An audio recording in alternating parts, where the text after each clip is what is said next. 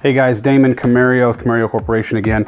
Um, I'm over here at another floor plan in Chapel Hill, the Varese plan. At a different stage though. This is at framing stage. We've actually got insulation in it.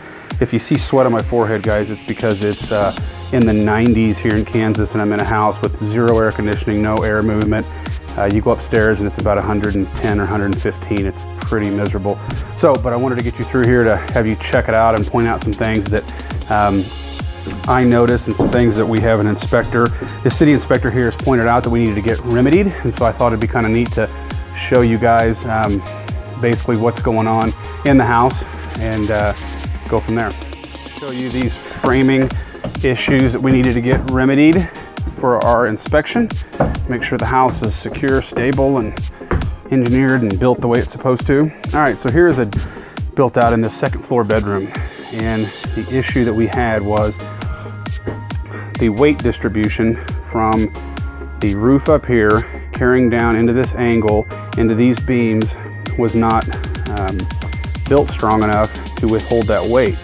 And so what we needed to do was go back and do what they call sister, um, sister the two by sixes into the ceiling. So if you see right up here, we basically sistered. So we had one that was existing and we basically put another one right next to it and a third and nailed those together and then allowed that weight to be distributed from the point load, following that all the way up into the ceiling, all the way down, you see in the wall to this point right here, and then it continues on down behind the insulation there into the floor, problem solved. So we needed to do that, simple kind of fix, um, but it was it's important so that everything is built the way it needs to be. Um, figured I'd just go do a little quick walkthrough. So there's a pocket door. This floor plan has quite a few of them. That's the actual frame inside the wall that gets drywalled over across those slats. And so the pocket door actually slits through here, but you just see this actually just gets covered in drywall so you don't actually see that. People wonder why, you know, light switches may be moved around a little bit when there's pocket doors. Um, it's because the pocket door frames actually take up the wall space and don't allow us to put switches in here because if we had a switch box inside this wall, it would actually hit the door, therefore render it useless. So that's why. And uh, in this plan, there's probably four or five pocket doors. There's a picture of the vault we've shown in the other one. You see what it looks like before we actually put those beams in it. Big two-story landing. All right, let's go downstairs real quick. Check out some more stuff. So this house is framed, insulated, mechanical, electrical plumbing has been put in. There's another pocket door frame, as you see.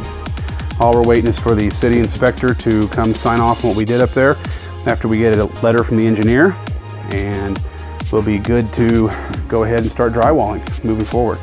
This house will actually be on the parade of homes uh, coming up this fall. There's a jacuzzi tub, showed in the other one. You see all the plumbing underneath there. Got our copper line for the ground. It's going down here to a plug so it gets its power.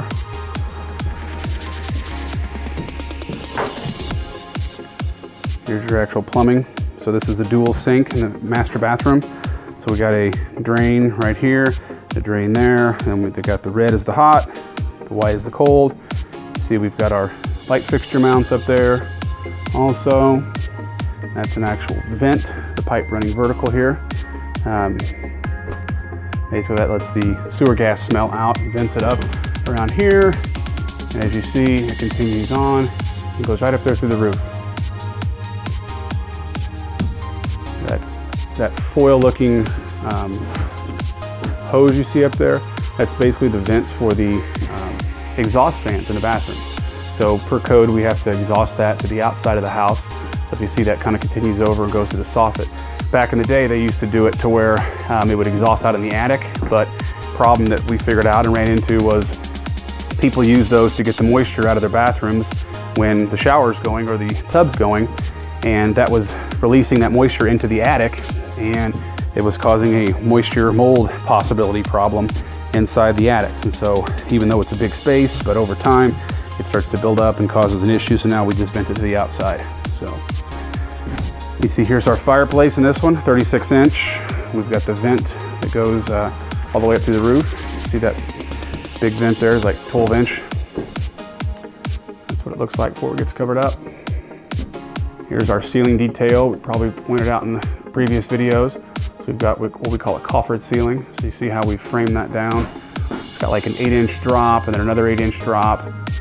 And we'll do some nice wood ceiling treatments in there. Thanks for watching guys. As always, hit the subscribe button, post a comment, follow us on Facebook, Instagram, Pinterest, Houzz, Twitter, or LinkedIn. Share it with a friend or visit our website at www.comeriocorp.com. Or if you want the real thing, check out our available homes page on our website for homes you can actually tour.